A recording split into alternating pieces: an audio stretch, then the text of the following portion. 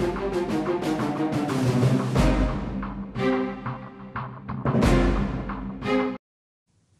Здравейте, вие сте с новините в 12. Аз съм Петя Кузева. Още от първите дни столичните общинари започват да раздават пари на неясни фирми и фундации.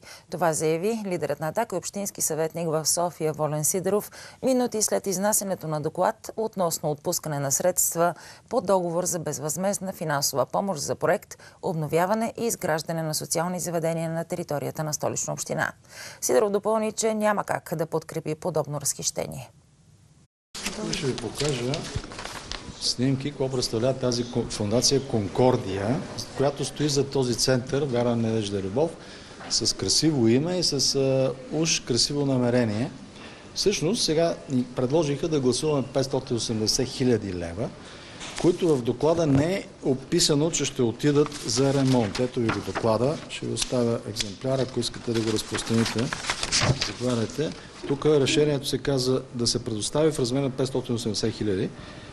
Няма на коя фирма, няма за какъв ремонт. Сега в залата разбрахме, ето вземете го това и ще после ще го дадеш на колегите. Сега в залата разбрахме, че това ще, ще ли да отидат за пари за ремонт на, на инфраструктура на сградата, която е била общинска. Коя фирма ще извърши този ремонт? За колко? Как, как се определи тази цена? Няма отговор. Тоест, от първия ден, от първата точка, ние започваме с гласуване на пари, които не е ясно къде и как отиват. Всичко това е завалирано в а, а, така една много сърцеразарателна пелена, че става дума за грижа за деца. Добре, чудесно, никой няма против грижата за деца, само че. Само че.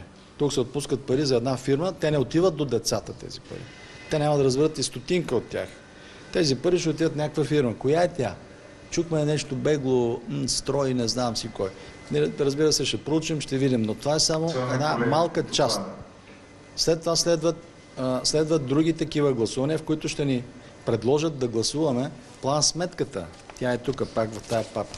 217 милиона отива за чистота. В кои фирми? На какво основание толкова много пари? Няма, в доклада няма обяснение, няма аргументация. Ето тези, тези въпроси аз ще искам да се изяснят и да става ясно, когато се дават такива пари, защото това са нашите пари, вашите, на всички вас, отиват в касите на някаква компания част. Аз искам да ви попитам две неща. Първо, защо не показахте тази снимка? Какво научаваме от, за тази... Ами вижте, това представлява... Да, какво, това. какво ви представлява? Какво представлява тази фамилия? Вие кажете какво Ма е не, това. не, вие кажете, защото вие ми показвате. Ами, това е някаква полулегална фундация, работеща...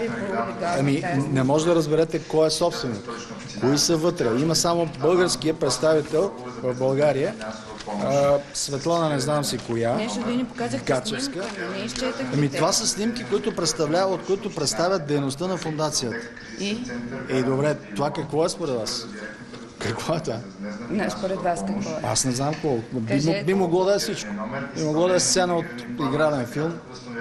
Би могло да е сцена И от е, Емануела, например. Да. Втория ми въпрос и в крайна сметка става дума за средства, тези- които ще бъдат върнати от От тези снимки, програма. от това представяне не може да стане ясно тази фундация какво представлява. Аз Ако вие пре- представлявате или сте свързани с нея, това, това обяснява вашите въпроси. Но А втория, аз втория, държа, аз държа, за заема е аз държа всеки лев, който се отпуска и тук го гласуваме, да е ясно къде отива. Ма те ще се В върнат коя под фирма? формата на е. Не е първата ясно дали. оперативна Вие знаете, сигурно сте. Така ли? Вярно. Ако не се върнат.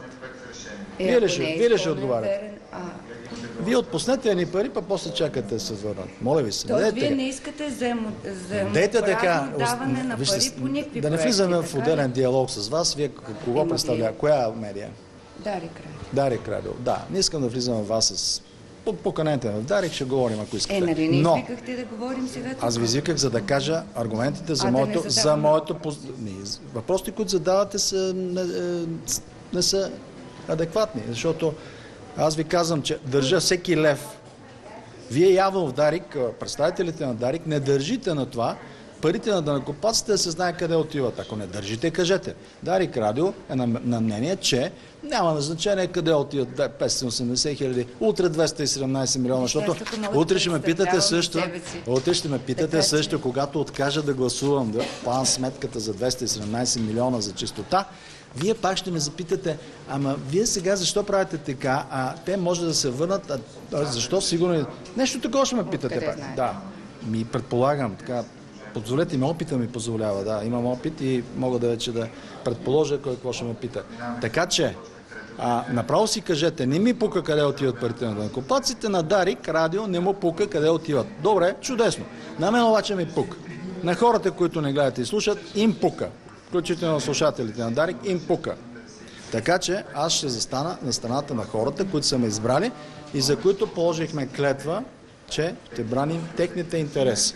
Не интересите на Титан, не интересите на Вълка, не интересите на фирмата Хикс, която ще ремонтира и ще пребере от тия 580 хиляди, сигурно а, 200 за себе си, реално ще даде 300, горе-долу такава съм чувал. Така че, моля ви се, оставете ми да защитавам интересите на гражданите. Лидерът на партия Атака общински съветник в столичния общински съвет Волен Сидоров коментира намерението на кметицата Йорданка Фандъкова и част от общинските съветници да вдигнат данъците върху така наречените стари коли, като посочи, че това ще засегне 300-400 хиляди души в София. Част от тези коли имат газова уредба и не замърсяват въздуха, посочи Сидоров. Той заяви, че е против увеличаването на данъка и ще се постарае да организира обществени протести срещу това намерение. Сидеров коментира още, че обяснението, че увеличаването на данъка щяло да намали замърсяването на въздуха, няма добра мотивация. Той посочи, че данъците върху столичани са достатъчни и не е нужно да се увеличават. Той допълни още, че вида кола, която карат хората, не се определя от тяхното желание, а от финансовите възможности. Лидерът на партия Атака, Волен Сидеров, коментира още, че парламентът не само, че не му липсва, но и е много доволен, че няма да е там. Не може да ми липсва парламент, в който се вземат антинародни решения, заяви Сидеров. Като пример той посочи плановете за отмяна на заплащането на болничните, както и плановете за нова американска база във Варна. Аз наистина не искам да съм в парламента в такъв момент. В момента, в който този парламент ще гласува във Варна да се открие, те го наричат център, но това ще бъде реално военна база на САЩ, насочена срещу Русия. България става фронт срещу своята освободителка. А, в такъв а, театър аз не искам да участвам, а, защото знам, че Беше обяснена друга функция един ден на ще този платим, координационен ще център. платим жестока цена за това, както когато станахме съдружници на Третия рейх. Сидеров бе категоричен, че Атака няма как да е партньор на управляващите и няма да участва в коалиционен съвет. Той допълни, че Атака е била част от коалиция Обединени патриоти, която е сключила споразумение с ГЕРБ за управление на държавата. ГЕРБ стимулира изолирането на Атака, тъй като станахме неудобни, а НФСБ и ВМРО бяха просто инструмент. Отверката и клещите заяви още Сидеров. По неговите думи, именно ГЕРБ са основния виновник Атака да не е в управлението. Атака първа предложи нов неколониален път за България. За това определени медии си поставиха за цел тя да бъде отстранена. Това заяви в предаването неделник по Алфа ТВ лидерът на Атака Волен Сидоров. Според него страната ни този път ще изгуби фатално от евентуална конфронтация с Русия. Да, главен секретар, да, черния шлифер, да, пиар, много добър и непрекъснат от BTV, главно от BTV, на които той сега им се сърди, би трябвало да им носи цветя, защото те го направиха герой. А, но дали това е достатъчно? Това ли е достатъчно? Ако е така, да да знам, да, да, се казва, да съберем пари, да си платя в BTV, да ме показват през вечер и да стана утре премиер, да, да вкарам 117 депутати в... Тоест, вие... Връзката е очевидна. BTV правеше това, което трябва, за да се наложи и да се отстрани атака. Защо? Защото атака посочваше нов, различен път за развитие на България. Не колониален и не най-важното и сега актуалното с днешния момент. А, България, която да не става фронт, военен фронт, част от е, една, една постоянна стационирана военна база срещу Русия, защото ние вече, вече сме такава. Сега с поредното а, събитие на деня, великото нали, събитие на деня, срещата на българския премьер, американския президент, резултатът е, че вече получаваме освен четирите бази, които има и те се ползват абсолютно безконтролно от а, САЩ, от а, военната машина на САЩ, получава, Съединените щати получават база, щатите, не НАТО, във Варна. Това ще бъде база, американска военна база, която прави вече България част от фронт срещу Русия. Разбира се, Русия това го отчита и казва и много не, срещу, забележете, срещу, срещу страната освободителка на България от турско иго. Защото не ни е освободила САЩ от турско иго, нали? Нашите големи уважения към Джани Арес Магахан. Магахан аз даже предлагам и съм предлагал да му се направи бюст, има паметник в София. А, той е американски журналист, който описва зверствата, кланетата в Батак, поклон до ден днешен, но държавата, която взе държавническото решение да обяви война на Турция, на Османската империя тогава, и да освободи България, се казва Русия. Не е Германия, не е Франция, не е Финландия, Холандия, Нидерландия, Белгия. Сега България я принуждават да стане фронт срещу своята освободителка. Разбира се, българите като народ, като общество са против това. Те не го искат. Само, че какво да направят? Това го решават елитите. Държавният елит отива, Каракачанов под дънки, с дисаги, без дисаги, слиза, избелва си вече той, той е избелен, той е да. от доносник на държава, на политическата полиция, на комунистическата политическа полиция. От човек с забрана която... да влиза в Съединените щати, господин Сидоров, знам, имаше може така би, да, забрана. Може да има забрана. А, Изведнъж? Да, ВМРО, като, която се водеше, да се е водила доскоро в списъка на да. терористичните организации на Балканите, която е правила отвличания, бомбени атентати и прочее. Още британските служби се води като терористична. Всичко това сега се избелва.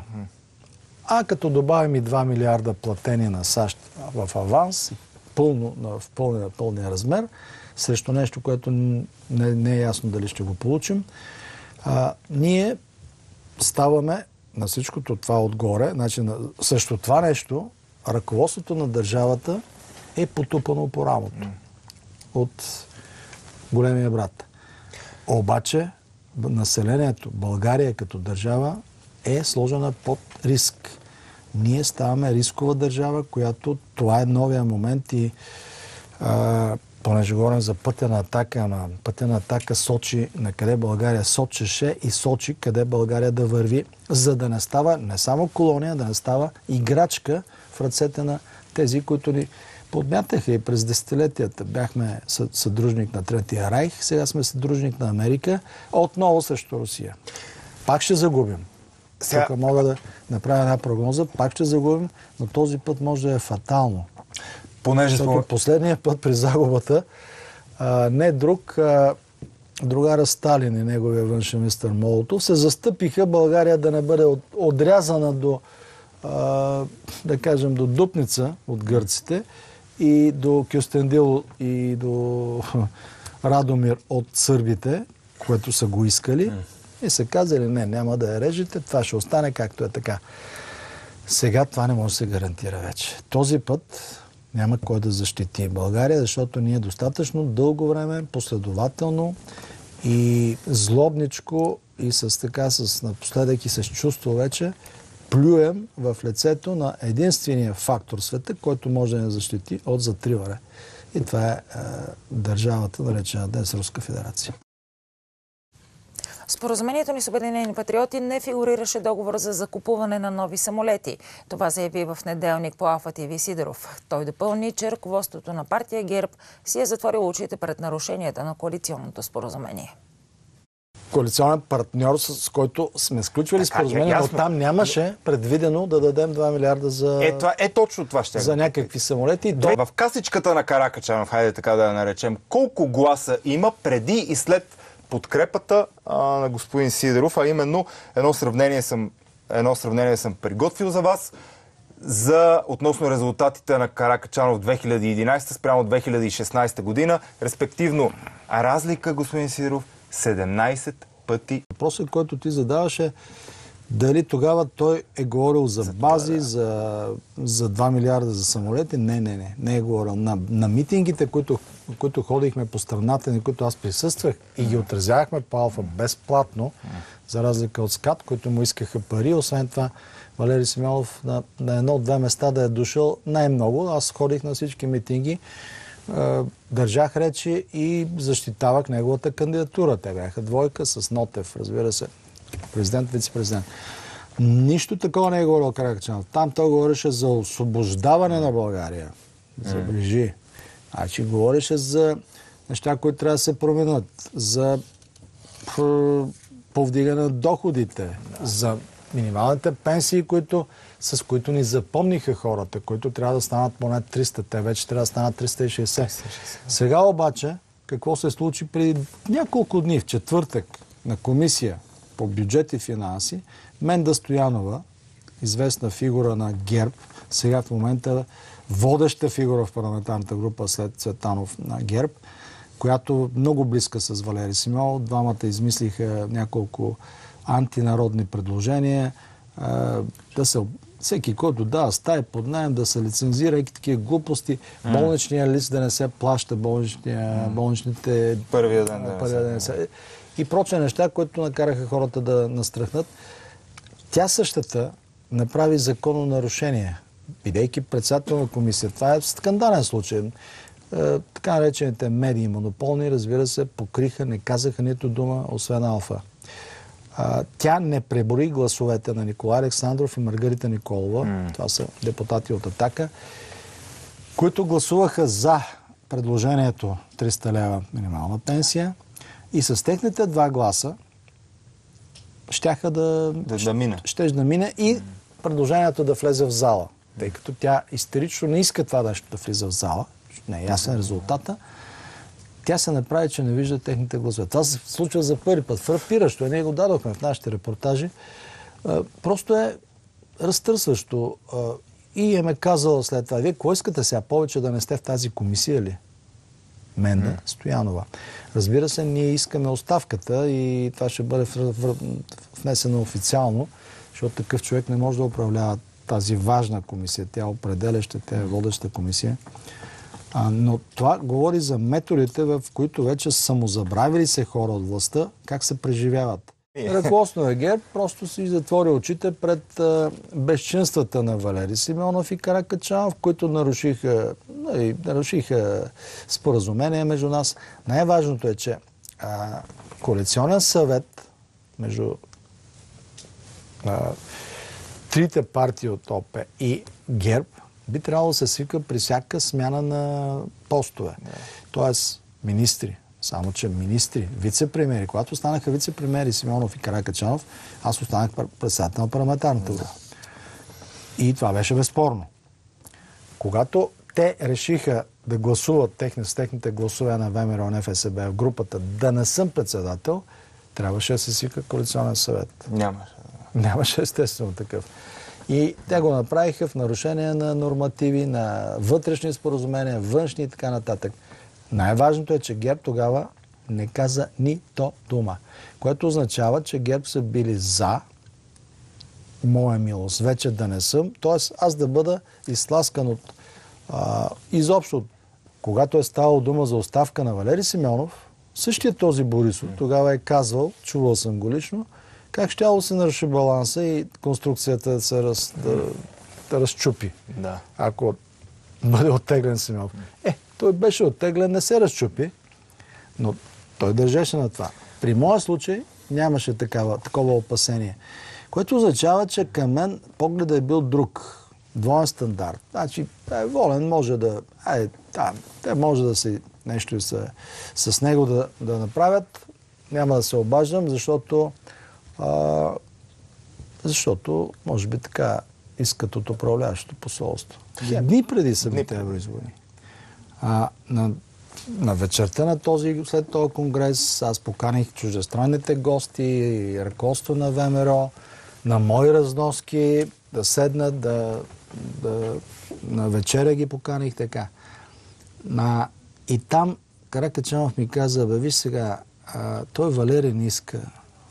И понеже Валерий не, не искал, Ние двамата само, ВМРО и Атака, нямало как да стане, защото сме разбивали конструкцията.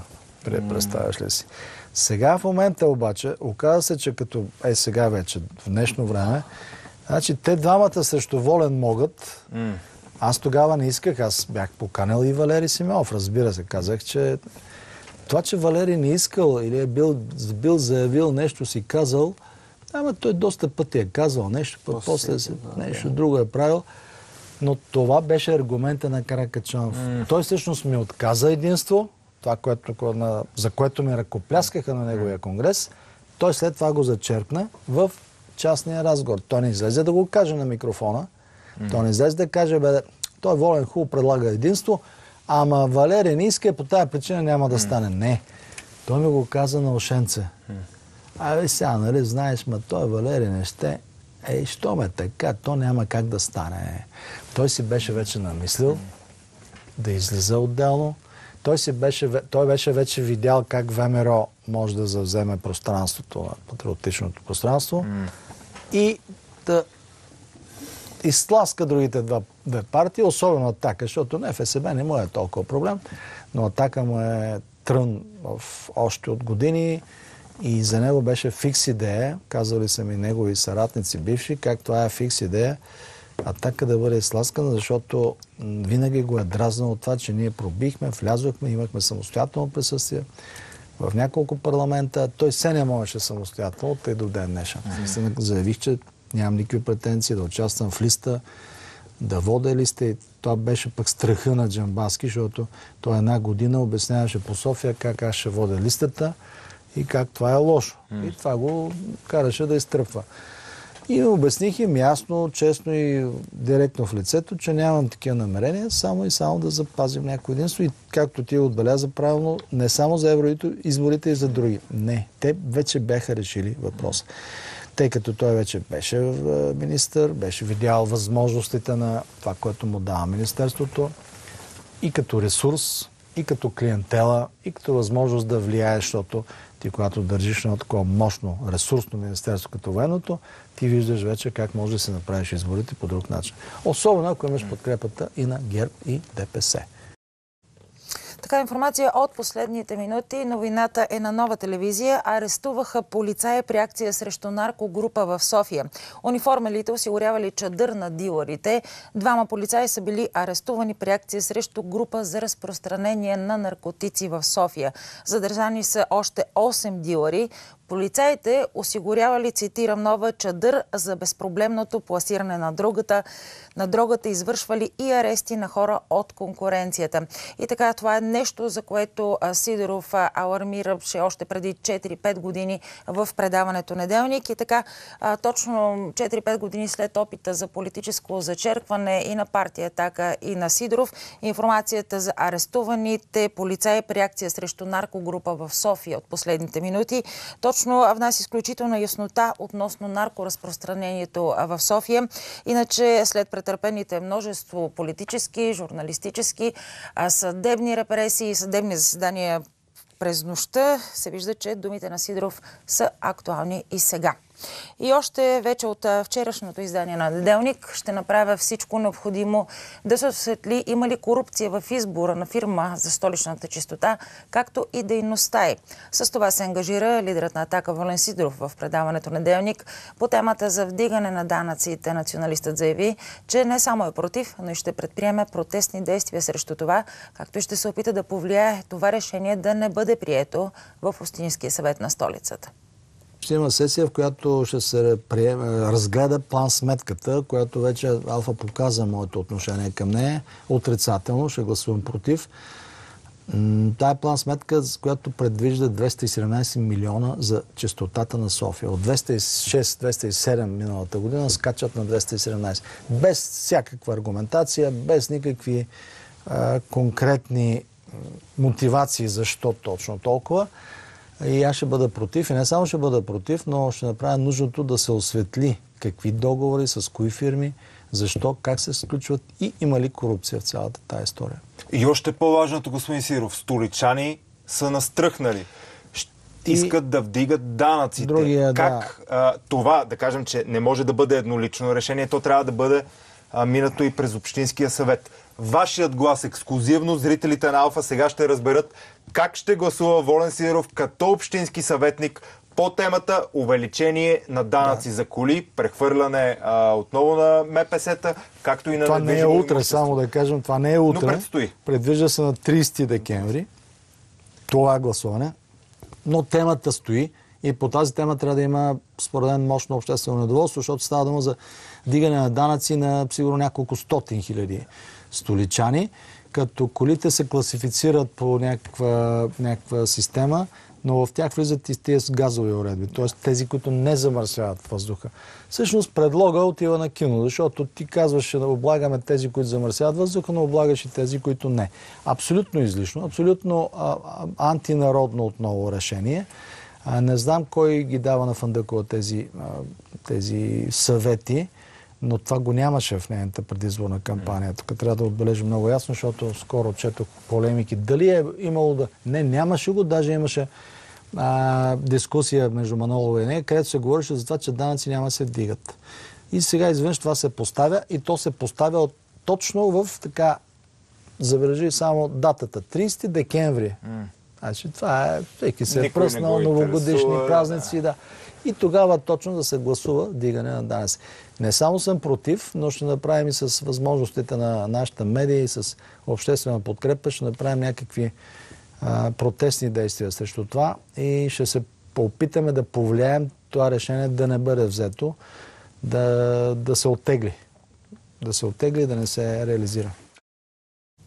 Ръководителят на Кримската българска национално-културна автономия Ивана Бажер заяви, че швейцарското посолство му отказало да издаде виза, като по този начин е провалило негово участие с изказване на Международен форум. 12-та сесия на форума по въпросите за малцинствата, спонсорирана от съвета за правата на човека на ОНЕ, започна в Женева на 28 ноември и продължи два дни. Форумът се провежда в представителството на ОНЕ в Швейцария. Получих потвърждение от организаторите за регистрация като участник във форума, на който смятах да говоря. Въпреки това, швейцарската страна не ми издаде виза, заяви Абажер, който също е член на Обществената палата на Руската федерация от Република Крим. Според него, чрез подобни решения се опитват да лишат жителите на Крим от глас и да им попречат да предоставят обективна информация за живота на полуострова. Подобен инцидент говори за грубо нарушение на правата на човека. Швейцарските служители блокират жители на Крим, като не им издават виза. Но ние не отиваме в Швейцария с туристически цели, а на площадката на ООН, за да поканим представителите на международната общност да посетят Крим и да изучат руския опит в опазването на правата на националните младсинства и развитието на родния им език, допълни Абажер. България се прощава с Стефан Данилов. Поклонението тече в момента в Народния театър. Любимият на поколение българи актьор почина на 27 ноември на 76 годишна възраст след продължително боледуване. Той остава след себе си близо 150 роли на театралната сцена, на малкия и големия екран. Бил е и депутат в няколко народни събрания, както и министър на културата. Носител на десетки престижни награди, сред които и най-високото отличие на държавата Орден Стара планина. Светло му памет! Останете с нас и хубав ден!